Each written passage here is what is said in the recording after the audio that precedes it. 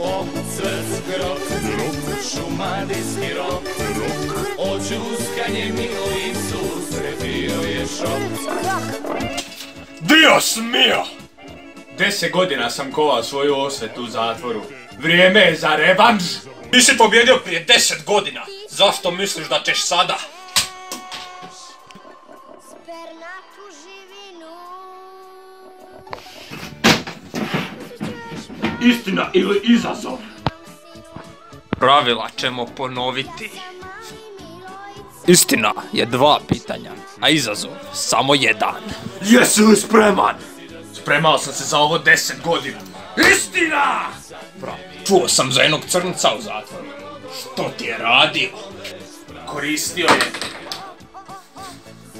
Koristio je ovo!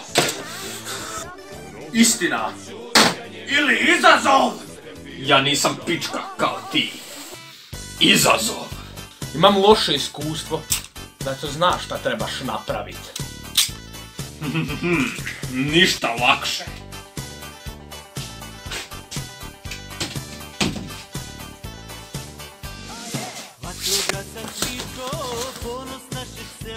Hm, ni zvuka.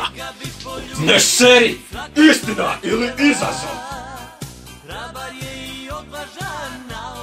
Izazov. Idi kod nekoga. Ispovijedi mu svoje najveće grijehe. Hej ti! Ja gledam dječju pornografiju. Gospodine Džeger, uhićeni ste. Gospodine Džeger, osuđeni ste na 10 godina gledanja dječje pornografije.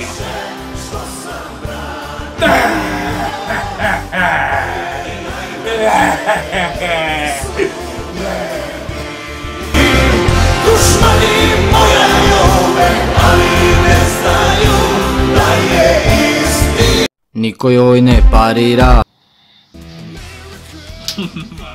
Vratio si se. Dio smio.